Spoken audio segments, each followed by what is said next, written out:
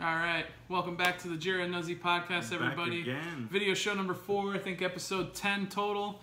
Thank you guys all for the support uh, in the past. We can't thank you guys enough, as we say every time. Uh, if you haven't yet, make sure you're liking the Facebook page uh, at Jira, or excuse me, Jira Nuzzi podcast uh, Facebook page, at Jira Nuzzi on Twitter, and the YouTube page is also Jira Nuzzi podcast. Make sure you're clicking subscribe. And the Uh, YouTube page is really blowing up a little bit. Yeah. Over 40 subscribers. pretty cool, Over yeah. 100 views. We doubled our views on YouTube. yes. And then the Facebook Facebook views in go without saying. Can't, again. can't, you Yeah. know, that's pretty awesome. Never thought I'd have a video that would have 500 views, much less a thousand. So, Yeah. you know, as we, uh, that's pretty cool. Um, uh, we can announce some stuff we got coming up uh, in the future. Uh, we are going to do a live show at our place of employment, Outback Steakhouse, on draft day, which is Saturday, uh, excuse me, Thursday, April 25th. And uh, we're gonna do it in the morning, the morning before round one of the draft. Um, we're gonna be Facebook Live. We're gonna take your questions. We're gonna take, uh, you know, uh, live questions. If you want to hang out with us that day, make sure Yeah. you know come down, hang out with us. We're gonna have some free food. We're gonna food, do our yeah. pri- uh, give away some prize. We're gonna do the fifty dollar gift card Yes, uh, uh, giveaway. yeah. Uh, we'll have some food for everybody. Uh, no rules, just right. That's Outback right. Steakhouse. Want Yeah. to thank Mike for uh, giving us that opportunity for Absolutely. uh, putting that together for us, and it's gonna it's gonna be some fun. We're gonna talk some draft, uh, eat some good food, and It's always fun going live. You know, never know what's gonna happen Oh, live. yeah. You know. Might have some special guests. Yeah, who knows? know. We'll get some questions in. If you come out and you want to get on air, you know, we might put you on air. You know, Yeah. if, if you know what you're talking about. I mean, we don't. You know, and you guys still listen, but no, just kidding. But uh, yeah, we can't wait for that. Uh, hopefully, we can do some more stuff like that in the future. Uh, maybe that'll get us going with that. Um, so yeah, we, we got that going. Uh, a lot of stuff in the news. Uh, we had you know the Antonio Brown stuff still going. We got some trades that went down since the last show. Jason Witten came out of retirement Yeah. since the last show. Things are heating up. That new league year starts March 13th, and Very uh, close. things are really starting to buzz. The biggest thing Five is days away. last night, Antonio Brown almost became a Buffalo Bill. I guess depending on who you talk to or who you believe, but uh, supposedly the Steelers had a, a deal in place with the Bills. Yeah, and if you're anything, if you're anything like me, you slept through the whole thing because uh, I know last night went bed early, woke up a little bit, and saw that he was all but it was all but a done deal. And then you wake up this I wake up this morning and it was dead. So I slept through the entire Antonio Brown Buffalo Bills era. Yeah. which was pretty crazy. Uh, you know, we'll touch on Antonio Brown right now. I mean, we're looking at from when he couple weeks ago announced the trade or was going to happen. Him and the owner said it was for the best. You had all these teams supposedly interested. They wanted a first round pick for the guy or maybe an early second. And every week or every day, it seems like that value just keeps dropping because teams keep dropping. it. Well, and, and he's not helping himself with uh, doing all this stuff. Uh, you All know, the interviews. all the interviews, all the talking, all the social media stuff. And I think what's going on right now, I, I think there he's getting a little of a, a, a harsh reality that the interest for him is really not what maybe he thought it would be when you factor in his 20 plus million dollar a year salary. Right. In fact, he's you know 30 years old, gonna be 31 before the season starts, and some of the baggage that he has. There's really not that big of a market for him, so it's kind of uh, slim pickings right now. And at this point, I wouldn't even be, be all that shocked if uh, Antonio Brown ends up going back to Pittsburgh. And you made might, that- you he made might that just kind of sit back and look and say, you know what, geez, The grass isn't always greener. No, it's not. It's the not. situation in Pittsburgh maybe really isn't that bad, especially uh, when you you know you talk about him possibly being a Buffalo Bill. You know, he's, he's might sit back and say, hey, you know, I got a Super Bowl quarterback and a pretty good organization. Maybe I want to stick around here for the next couple of years. Yeah, and you made that point uh, earlier today and last night actually, and you said you know I, I wouldn't be surprised if he goes back. And my first thought was, well, the you know the, he's basically you know made his bed in Pittsburgh. He wants out. He, he him and Ben Roethlisberger clearly don't get along. Now they haven't gotten along apparently for years, but now it's all out there.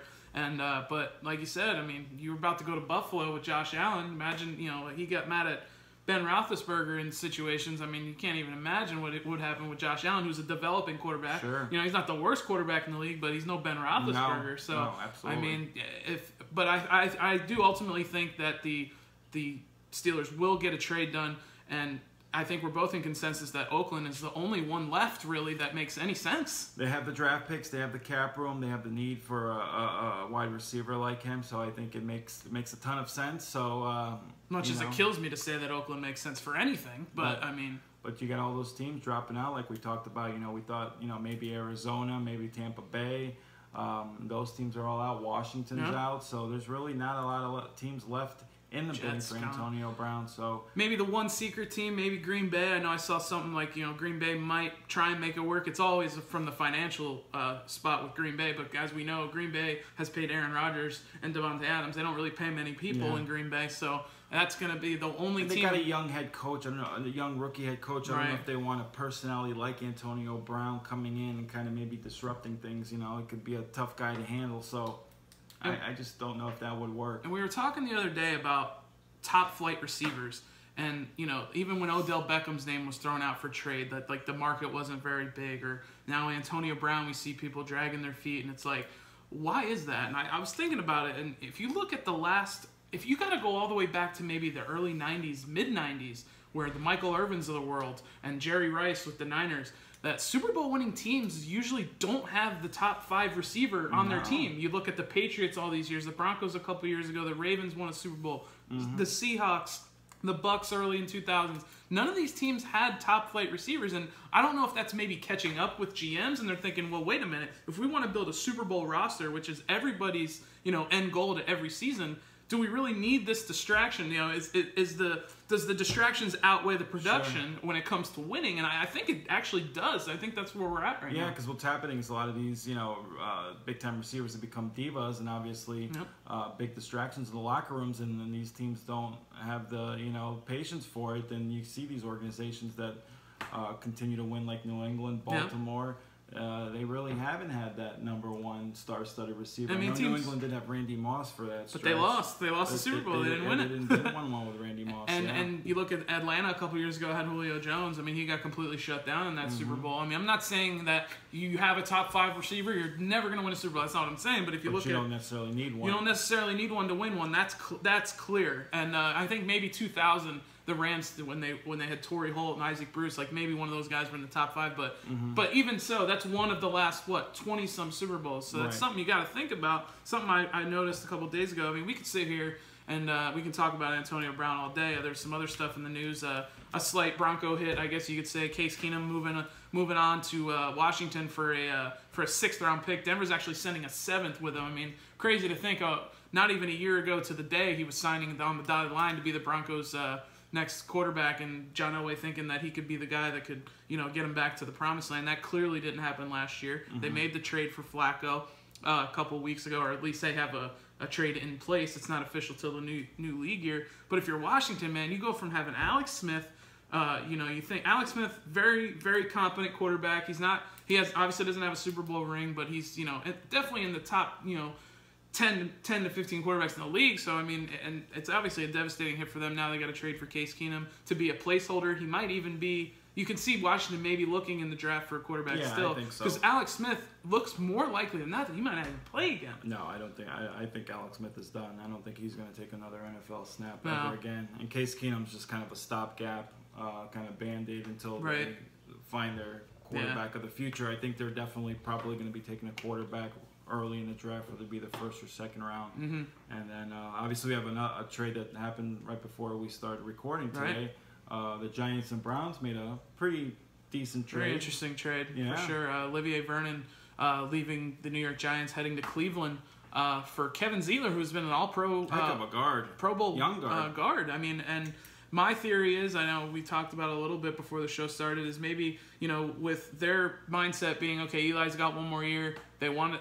Looks all signs point to them drafting Dwayne Haskins. Might be the most obvious first round pick. Sure. Is Dwayne Haskins going to the Giants? You got to protect the young guy. Yeah. I mean, their offensive line has been abysmal the last couple of years. yeah. So I mean, if you want him to develop right or at least get some confidence, you got to give him some protection because obviously he's and showed in the combine he's not exactly quick uh, or fast, you Mm-hmm. Yeah. know, with that uh, suspect 40 time. But as we know, that's not all. You know, speed doesn't really Right. come down to just your 40 time. I mean, quickness in the pocket, stuff like that. But You got to do protect your Definitely gotta protect and him. That's a, a definitely a good move uh, in the right direction for the Giants, getting a quality guard like Zeitler. And you got you got to remember uh, last year, you know, they lost a couple of their offensive linemen. They lost Justin Pugh, then they lost um, uh, Weston Richburg, their center. Center, to the 49ers. So uh, they're getting some guys back now uh, to beef up that O line.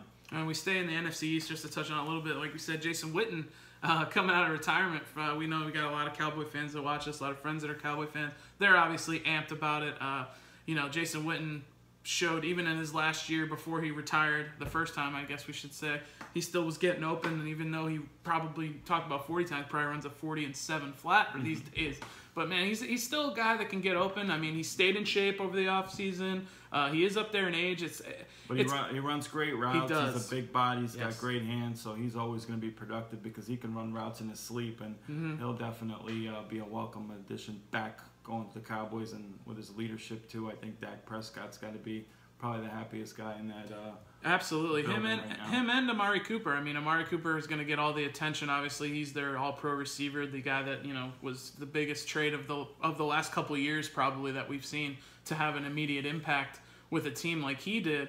Um, you know, Jason Witten's not somebody you can just ignore. I mean, even if yes, he is coming out of the Monday Night Football booth, but he's still somebody Oh, yeah. that I think he wouldn't have come back if he didn't think he had a little left, and the Cowboys wouldn't have brought him back No. if they didn't think they had a little No, left. As much as Jerry Jones out. you know, does some questionable things. But uh, probably the most the thing we've been real anxious, of course, is uh, you know my man's specialty over here is the NFL draft. I mean, NFL I, I love the NFL draft. draft and, buzz and is here. The buzz and Kyler Murray is just he's on top of everyone's mock draft now. Everybody's. he went from when he was thinking about you know leaving the baseball career Right. behind, going into football uh, uh, fully. Said okay, maybe late first round. I know you you said no, no, top ten. I said Mm-hmm. ah, maybe. I don't think so though. Now looks like he's going to be the number one overall pick. I never thought mean, that what, was gonna happen. What a story! What a uh, uh, series of, of you know things that have happened Crazy. the last couple of weeks. Uh, God, he went from you know is looking like a future baseball player to Yeah. now being the number I mean, he was a top he was a top ten baseball draft. draft. Like he was a draft he was drafted in the top and, ten. and how baseball. about this? Uh, you'd have back-to-back years where Oklahoma quarterback goes number one overall. Heisman That's Trophy winners and number one overall. I don't, don't know if that's, that's ever ever that has happened. never There's happened no before. way. I would probably uh, you know state a little reputation on that, saying that's never happened. Two Heisman Trophy quarterbacks from the same school going number one one overall. back-to-back and I mean, it looks like it's gonna. Ha- if we would be shocked at this point if it doesn't happen. In a week's time, we've gone from oh, I'd be shocked if he's in the top ten to I don't think there's to, any way he's uh, not top pick. He'd have to something crazy would have to happen. He'd have to bomb his workout and have an off the field incident Yeah, or yeah, yeah. something. You know. And this is coming for he didn't even do anything at the combine except No. except weigh himself and get his height Well, and his hands. It goes back to Cliff Kingsbury. Uh, you know, comes from that coaching tree. Lincoln Riley, of course, started with Mike Leach. It's that same coaching tree, and obviously, you know, Murray played there, and I, I, I think he just fell in love with him. He's Yeah. the guy that he wants. They're not sold on Josh Rosen, Clearly, obviously, they're as their taking and they're, quarterback. and they're taking uh, offers for him as, And, and right then now. too, I, I think we both agree that Russell Wilson, you know, has really helped the guy like Murray, showing that these shorter He's quarterbacks paved the way for can sure. succeed. Even Baker Mayfield. Now Baker Mayfield, yeah. yeah. So uh, you look at uh, see to me height with after ba- after Russell Wilson. If you go even further back, maybe Drew Brees, who's not you know he's six foot, but uh, height shouldn't be an issue anymore at the quarterback position unless he's like five foot five or something like that. But if you're five eight, five nine, now he measured at five ten. There's been rumblings that that was a fake height or whatever, but you know people got to always throw some stuff out Sure. like that. I mean, Baker Mayfield proved it. Russell Wilson proves it, and then Drew Brees. So I mean, that's not something that I think the Cardinals are even worried about one bit. Obviously, and you say Kingsbury has been or very high on him. So um, we are want we do want to go over our, uh, Yeah. our our mock here. Obviously, like we said, Let's we get to it. Uh, our post our post uh, combine mock. Obviously, it's shaken up a lot. Um, you know, with the Kyler Murray. Uh, you know, being the top guy now, he's on both of our we're consensus on that. I feel like, like we said, it'd be shocked if it wasn't. Uh, we go to your team now with the 49ers. I think we're both in consensus that that he just Nick Bosa just falls right into their lap. I mean, you got to think the 49ers are just absolutely thrilled with all this stuff going on with Kyler Murray, getting a guy that they would have drafted number one if they Mm-hmm. had the number one overall pick. Their biggest need is an edge rusher. They need an edge rusher badly. Cassius Marsh led them in sacks off the edge last year, and he's a backup at best. Mm-hmm. They got a glaring hole. You get Nick Bosa, pure edge rusher. He's a guy who can dip, get underneath the tackles. He's got the power to run through tackles. He can also get around them. He's a guy who can come right in. He's going to get 10 to 12 sacks as a rookie. He's got the NFL body, the NFL hands, the NFL bloodlines. Just a perfect fit. And uh, they have a 4-3 defense, very similar to Seattle's, where they have that Leo defensive end who's kind Right. of a hybrid DN linebacker.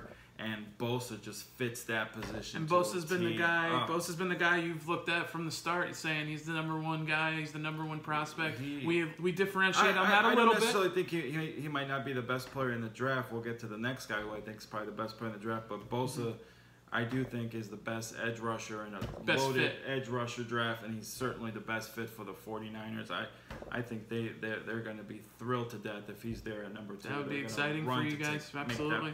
Make that pick. And then uh, we move on to number three. Again, another consensus pick that we're all in, and I think everybody else is. That the Jets is uh, hasn't hasn't changed since the start. Is that D lineman out of Alabama, Quinn, Quinn Quinn Williams, Williams? who I mean, think is probably the best player in the draft. He's tremendous. I mean, talk about a 6'4", uh, about a 300 pound defensive tackle, cat quick, Very guy quick. runs like a DN, Mm-hmm. powerful hands. Watch watch the highlights of him on YouTube. He's getting double team. He's moving two guys back into backfield all times. Yep. Nine sacks from that DT position, and they even took him out on third down a lot, and he still managed to get nine sacks. Aaron Donald's a great player. I, I, I don't loosely compare guys to Aaron Donald because he's amazing. He's he's terrific. Quinnen Williams, But like you I said- think is going to be Like you said, when you look at the film Donald. or you look at the highlights, he's doing Aaron Donald things. He's moving two guys. He's attacking double teams like they're nothing, flicking guys off him. Guys go backwards when they're going against and, Quinn Williams. and in the. SEC facing the top Exactly. guys, being double teamed, still putting up the production. Right. Also, great character guy. Oh, I mean, Yes, the Jets at three, they get him. That's a Uh, big move that's, for them. That's that's huge. Yeah, and they're not, I don't see them wavering, even with uh, if with the Kyler Murray, uh, you know, news of him probably going number one. It does drop Josh Allen a little bit, who we're talking about next, who I think we're both in, again in consensus of that. Josh Allen kind of just falls into Oakland's lap. Now, this is all assuming no trades go down. We can't we can't forecast trades. I mean, nobody can. Those happen within 15 seconds, 15 minutes of the picks. So uh, Josh Allen like falling to the Raiders. I mean, if they get their edge rush guy Yeah, to replace Khalil Mack. I'll tell you, Josh Allen. I mean, you talk about him uh, in the mix for the number one pick. That's how good he is Yeah. too. So you get him at four.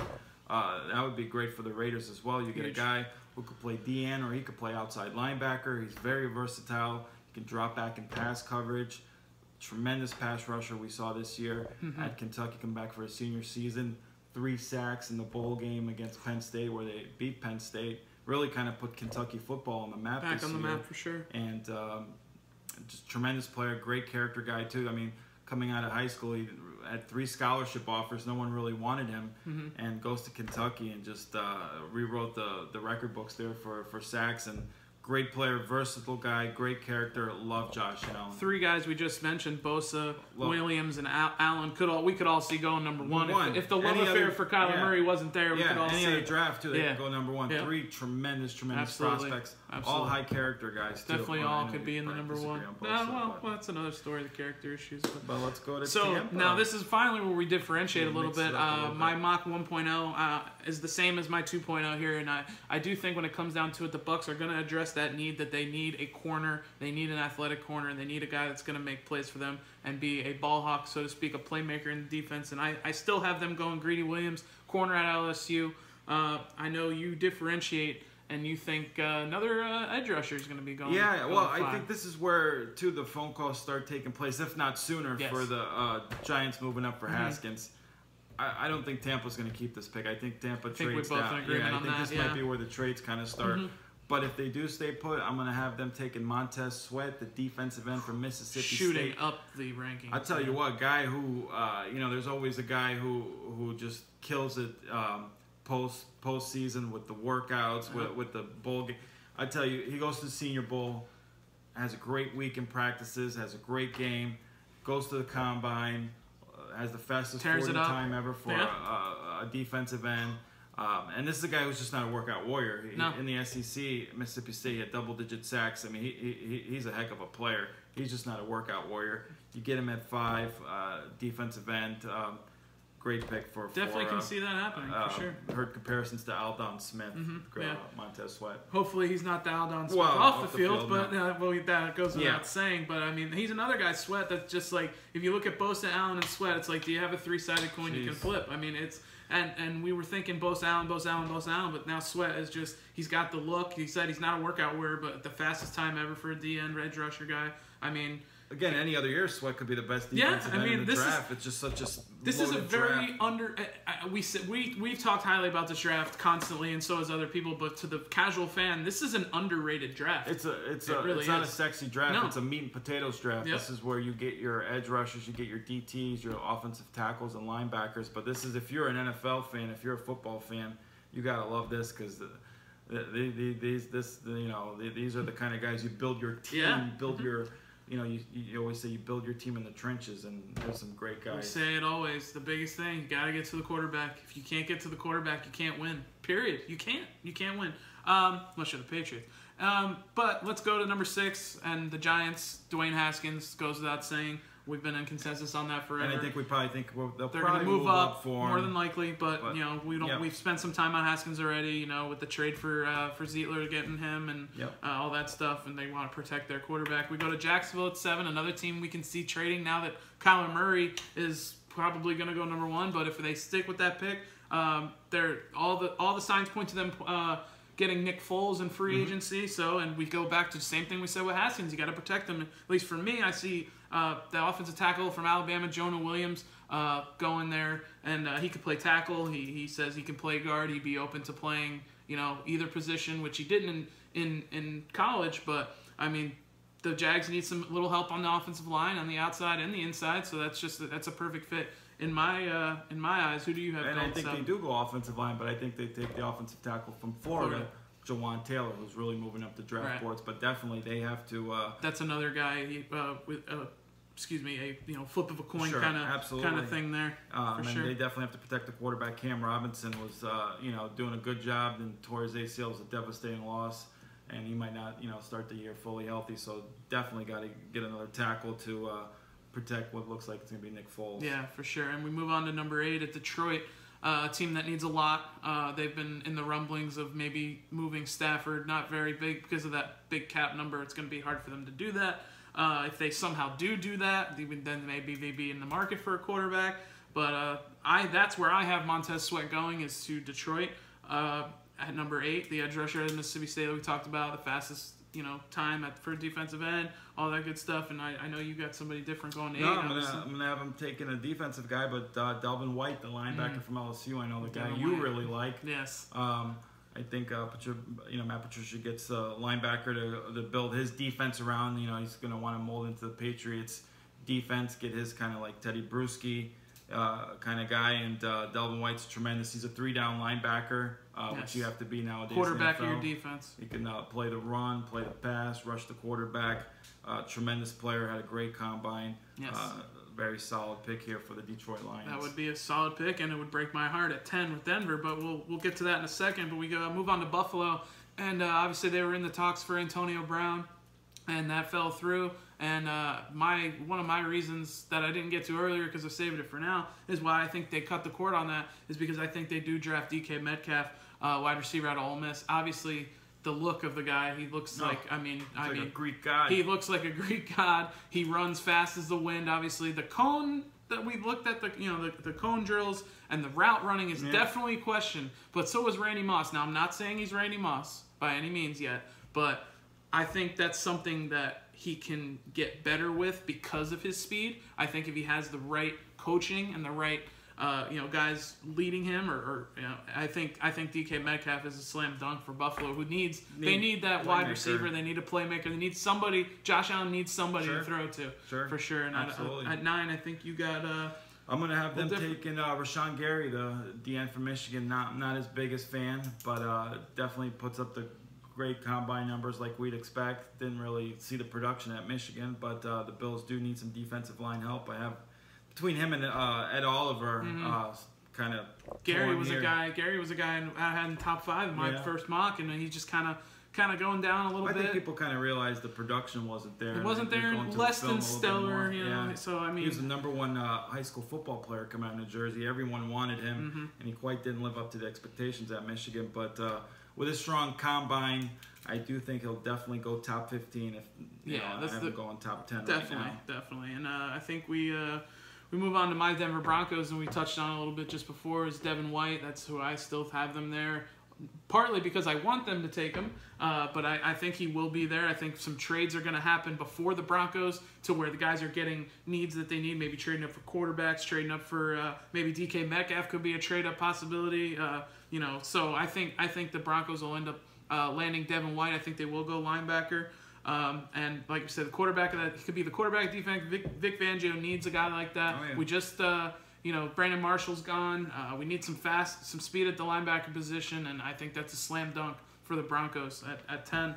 So I'm, I'm going to have them taken. Again, I think this would be a trade here. I think you've heard rumblings of the Broncos possibly want to trade down. Mm-hmm. I, I do think a team maybe trades up here for another quarterback, Drew Lock from Missouri. I could see Cincinnati. I could see Miami or even Washington moving up here. So Can I'm even gonna have- unfortunately see us drafting him. or the Broncos take him. So I do have him going here, number 10 to Denver. Mm-hmm. Might not necessarily go to the Broncos, but I do think Drew that's Lock the spot. will go top 10, especially with Okay. his uh, combine performance. Interesting. Uh, so we move on to 11 at uh, Cincinnati Bengals. Also, kind of need similar needs as the Broncos. They need linebackers. They possibly need a quarterback. Uh, and we, we stick in my in my mock at least we stick at the linebacker position with uh, Devin Bush out of Michigan. I mean he's another guy I can see going top 10. Uh, Love that guy. He is a, if he was a little bit bigger, a little bit taller, exactly. he's a top 10 He's a pick. little, a little small, but I mean oh, he's a tremendous player. He plays with a swagger. I'm a huge fan of him. Right. I can't talk more. So Cincy at, uh, at 11 for me, and uh, I'm not sure if you had the same or if you switched it up. We don't know. We didn't collaborate this, Yeah. folks. We this is this is now. You're hearing it now. No, I did switch it up a little bit. I'm going to have them taking Jonah Williams, the offensive tackle from. Alabama. The Bengals have had a hole at tackle since uh, Andrew Whitworth went to the Rams, Mm-hmm. and I kind of compared Jonah Williams to Whitworth a little bit. Not a not a ultra uh, athletic guy, but very fundamentally sound, good feet, uh, great technique. Comes from Alabama, pro ready. So uh, I think that'd be a good fit in Cincinnati. Definitely would be a good fit. Uh, you can definitely see them go and tackle there. And uh, we move on to uh, the Green Bay Packers, and that's where I have uh, Jawaan Taylor of the Florida Gators going to, to the Packers, needing some help at the tackle position. They have some aging linemen uh, on in Green Bay. Uh, Aaron Rodgers, he's the guy they got to you got to protect him. He's the you know he's the guy that's going to get them anywhere. So I definitely have Florida's uh, Jawaan Taylor going there, like you said. I mean, great technique. Guy could be the best. He's probably the best tackle in the draft between him and Jonah Williams. Uh, so that's where I have uh, at number twelve, Green Bay. Yep, I'm gonna have them taking Ferrell, the defensive end from Clemson. Uh, very, very productive guy, productive player throughout his career at Clemson. Obviously, uh, great year this year on Clemson's national championship run. Had a great game in the BCS national championship. Great fit in their scheme. I think he's a good pick here at number 12. Definitely a good, definitely a good spot there. And then uh, number thirteen, we run uh, to the Miami Dolphins, who uh, look like they're moving on from Ryan Tannehill. They might be uh, in the market for a quarterback with Nick Foles, but it all, all signs point to uh, Jacksonville getting him, and I can see them drafting a quarterback. This is where I have Drew Lock from Missouri going. Uh, I like we said before, I could definitely see him trading, being a trade up candidate, going to ten at Denver, going to a different team, maybe even inside the top ten. Some mocks I've seen have Drew Lock going all the way to Oakland on four. I mean, that's that to me is a little bit of a stretch, but he's that kind of that wild card quarterback, and somebody's got to go after Kyler Murray, and it looks like it's. Uh, it, or excuse me, after Dwayne Haskins, Haskins. and it's uh, it's gotta be it's gotta be Drew Yeah. Lock there for me in Miami. Yeah, I'm going to have him taking DK Metcalf. The Dolphins certainly need a playmaker. Uh, get Metcalf here at 13, I think, would be really good value. Again, I'm not quite sold on him because of his route running. Uh, I think he might be a little bit too big, but it, he is a talented, uh, versatile playmaker. The Dolphins obviously lack that. Hell yeah, so for sure. I think that pick would make a ton of sense here. Absolutely. And then 14, moving on, we got the Atlanta Falcons. Uh, they've obviously had their struggles on defense. Uh, they could they could be in the market for pretty much any uh, defensive position at this point. But to me, to solidify that defensive line, to go with Vic Beasley, to go with um, Takk McKinley and Grady Jarrett, who they just gave the franchise tag to, it would definitely be Ed Oliver for me Yeah. out of Houston. I mean, the guy oozes of talent. Uh, you, you Worked question, out with the linebackers. yeah, I mean he's got the speed, speed to be a linebacker. He's got the size to be a defensive tackle. Just a guy that could, I, I could definitely see Ed Oliver being a defensive player of the year kind of candidate. Mm-hmm. Uh, and in Atlanta, will he get you know Dan Quinn, a defensive guy? You know he I, he would probably be uh, just you know smitten at 14 with that Oliver. Absolutely, and I have them taking that Oliver too. He's a perfect fit for that scheme. Mm-hmm. Uh, all the things that you said, uh, top five talent, really. If he didn't, you know, have the injuries at Houston and Right. the, the incident with the jacket and stuff, Yeah. I think you're maybe talking him. about him being a top five uh, Looks draft like- pick, but he's definitely a top five talent Yeah. for Atlanta. to Get him at 14, great, great. and that's a good spot because uh, you look at the teams in the top five or even the top ten.